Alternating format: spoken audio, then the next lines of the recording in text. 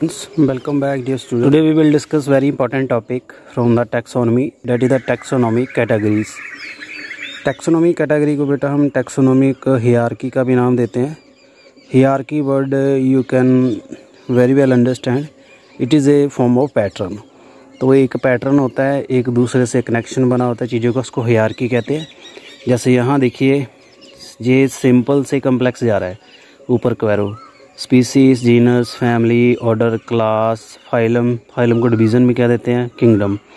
इसको याद करने का तरीका है, कीप पोट क्लीन, और, या otherwise family, get sick. So taxonomic categories क्या है? जो हेयर की भी कह देते हैं उसको ये टर्म पहले लीनियन ने दी थी लीनियन हेयर की आपने सुना होगा। And hierarchy of category is the classification of organism in a definite sequence of categories एक सीक्वेंस में किसी ऑर्गेनिज्म को क्लासीफाई करना on descending order starting from kingdom and reaching to species kingdom उस एनिमल का किंगडम भी लिखना phylum class order family genus और इसमें इन बिटवीन और भी कई टाइप्स आते हैं। So the number of the similar character of category decrease from the lower rank to higher rank इसमें क्या होगा? सिमिलर करेक्टर जैसे हम नीचे से ऊपर जाएँगे तो ख़त्म होंगे जैसे ऊपर से नीचे जाएँगे तो सिमिलैरिटी आती जाएगी। जैसे स्पीसी से genus family order class phylum kingdom तक जाएँगे तो सिमिलर करेक्टर ख़त्म होते जाएँगे। यानी स्पीसीज़ में सबसे ज़्यादा सिमिलैरिटी होती है, यानी एक दूसरे से ऑर्गेनिज्म रिजेंबल करते हैं। सो ये कलाया hierarchy include the seven obligate categories तो इसमें सेवन कैटेगरीज हैं। Kingdom phylum class order family genus species category are arrange in descending sequence के, जैसा किंगडम को टॉप में रखते हैं।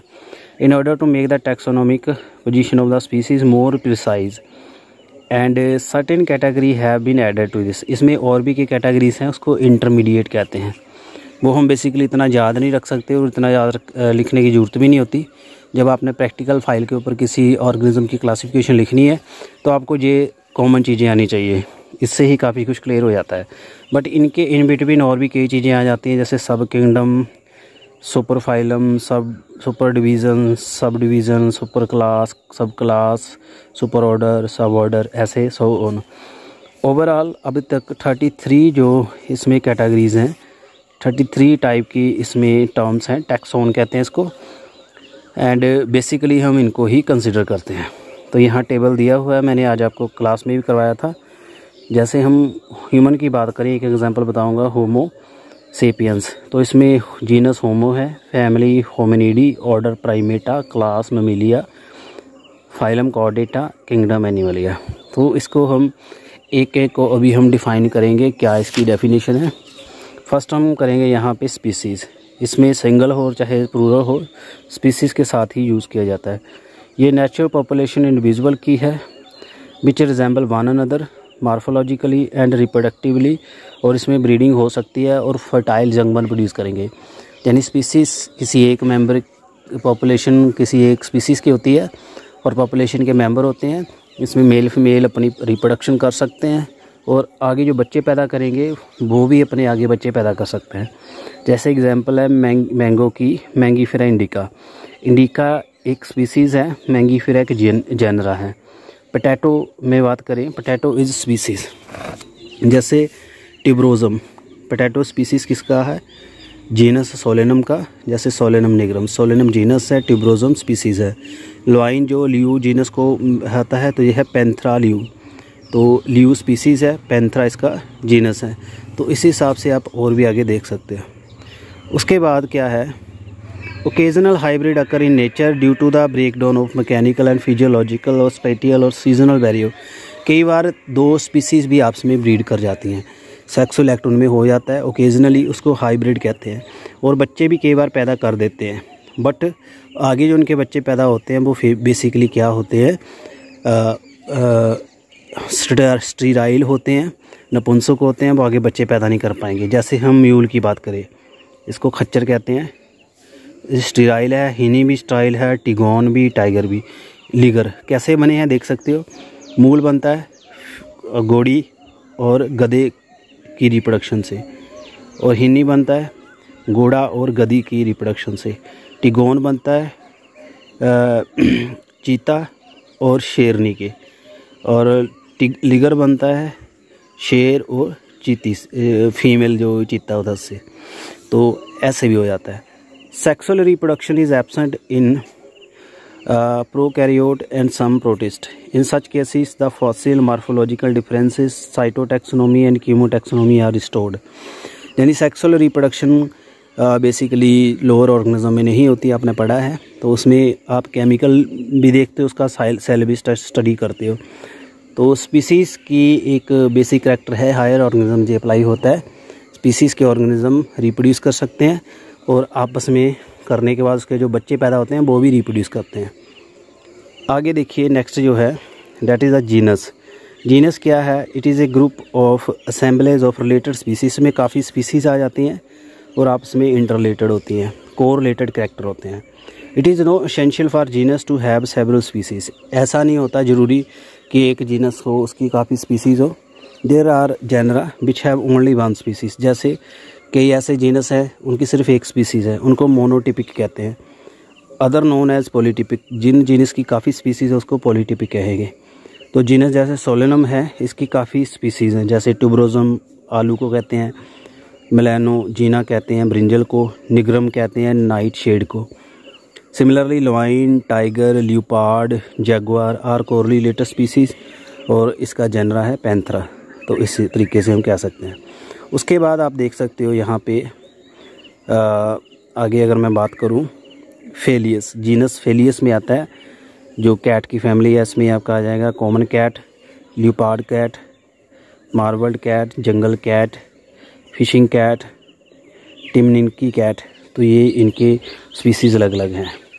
फैमिली अब काफ़ी जनरा मिलके फैमिली बनाएँगे ये और ज़्यादा कम्प्लेक्स हो जाएगा तो उसमें काफ़ी ज़्यादा जनरा आ जाएँगे। जैसे जनरा बात करूँ मैं बिल्लियों का, उसमें है फैलिस जनरा लिपार्ड का है पैंथरा, ठीक है?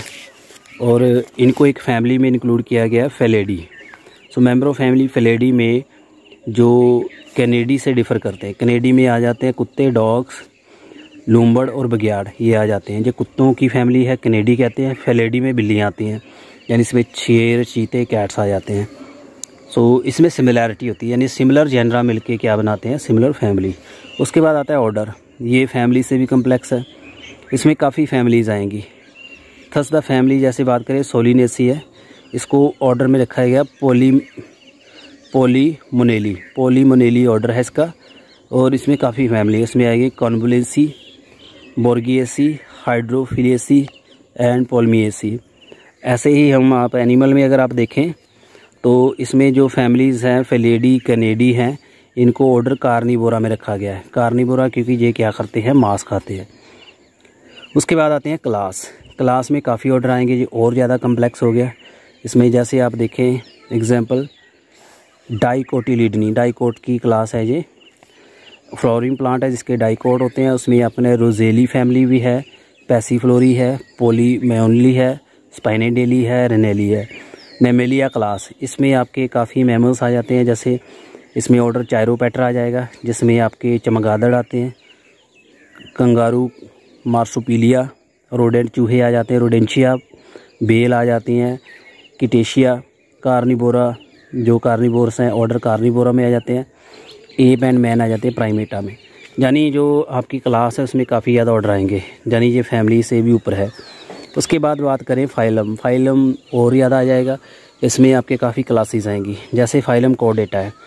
कोडेटा is not only for mammal but काफ़ी। यानी इसमें सिर्फ़ एक ही क्लास नहीं आती क्लास मेमलिया ही नहीं है, बाकी भी इसमें है। जैसे एप्स क्लास में बर्ड आएँगे रेप्टेलिया में रेंगने वाले आएँगे स्नेक आ जाएगा लिजार्ड आ जाएँगी एम्फीबिया में जो ड्यूल नेचर वाले हैं फ्रॉग आ जाएँगे टोड आ जाएँगे साइक्लोस्टोमेटा इसमें फिशेस आ जाएँगी। और जो डिवीज़न, जैसे डिवीज़न प्लांट के लिए लेते हैं फाइलम लेते हैं एनिमल के लिए, डिवीज़न इन प्लांट में सिमिलर आपके क्लासेस आ जाएगी। उसके बाद किंगडम है किंगडम सबसे ऊपर हाईएस्ट है। अगर एनिमल के अंडर है तो किंगडम एनिमल ही आएगा प्लांट के अंडर है तो किंगडम प्लांट ही आएगा। और मैं उम्मीद करता हूँ आपको ये वीडियो पसंद आया होगा। These are given at the taxonomy categories आगे के वर्ड आता है टेक्सोन टेक्सोन प्लूरल है टैक्सा ग्रीक वर्ड टैक्सी से लिया गया, इसका मीनिंग अरेंजमेंट ये यूनिट ऑफ़ क्लासिफिकेशन है, जो बिच में रिप्रेजेंट एनी लेवल किसी भी लेवल के ऊपर, जैसे हम देख सकते हैं, जैसे मेज़ में स्पीसीज रोज़ रोज़ में जीनस ग्रासिस में फैमिली कॉनीफर में order classes dicot seed plant division ये सारे जो हम देखते हैं, इसको हम कहते हैं taxon it has defined the taxon में बी टैक्सोनो taxonomical group of any rank that is sufficiently distinct to be worthy of being assign to a definite category उसको किसी डेफिनेट कैटेगरी असाइन करनी आसान हो जाती है। उसकी वहाँ तक डिस्कवरी हुई हुई है, इसको हम टैक्सोन कहते हैं। और स्पिन सिम्सम जो है फादर कहा जाता है टैक्सोनॉमी से, काफ़ी उनका लिंक है। और उसने कहा है taxon to be group of real organism जो एक हयारकी का यूनिट बना देते हैं। सो so, टैक्सोन और कैटेगरी में डिफरेंस आ जाता है। ये टैक्सोन ऑब्जेक्ट से रिलेटेड है रियल है और किसी रैंक को रेट करता है। कैटेगरी एब्स्ट्रैक्ट है। तो these were the taxonomic categories तो मुझे समझ आ गया होगा आपको। So there is a some confusion in use of taxon and category जैसे ब्रायोफाटा एक टैक्सोन है। While the division is category division category आएगा। सिमिलरली जी मेज़ एक टैक्सोन है। While the species is category zea mays zea mays में ये एक taxon है। अगर हम मेज़ इसकी स्पीसीज़ देखेंगे तो ये कैटेगरी आएगा। Thus while category represent an abstract taxon जो है रियल टर्म यानी है, एक ही चीज़ें है बट उसका एब्स्ट्रैक्ट जो है, जिसको हम टच नहीं कर सकते, उसको सिर्फ़ हम एक्सप्रेस कर सकते हैं, उसी को हम क्या देते हैं आपका कैटेगरी आई होप आपको समझ आ गया होगा। सर्टेन कॉमन नेम जैसे represent to species while other represent genus family order class phylum ऐसे आ जाते हैं। तो यहाँ आप देख सकते हो कैटेगरी वाइज इनको ऑर्गेनिज्म को जैसे दिया हुआ है, यहाँ पे फ्लैट बॉम राउंड बॉम ठीक है? तो क्लासेस इसमें क्या है क्लास में क्या है fish bird insect millipede centipede snake snail order इसके ऑर्डर के अंडर ये जो डिफाइन करने वाले टैक्सोन है बैट मंकी स्नेक अगर स्नेक की बात करेंगे तो उसका ऑर्डर ढूंढना आसान हो जाएगा। जैसे बटरफ्लाई लेपीडोप्टर ऑर्डर है, ठीक है? उसके बाद अर्थवोम का है लिगोचिटे फैमिली टॉटवाइस वगैरह ये एक्सप्लेन कर देते हैं। जीनस जीनस के अंदर ये एनिमल रिप्रेजेंट करते हैं। स्पीसीज़ के अंदर ये कॉमन आ जाते हैं। तो इस तरीके से हम इसको डिफ़ाइन करते हैं। और मैं ये उम्मीद है आपको जो टेक्सोनॉमिक कैटेगरीज़ हैं, वो समझ आ गई होगी। और अगर आपके दिमाग में अभी भी कन्फ्यूज़न है तो you can put your comment and I will help you to solve that confusion. Thanks for watching this video.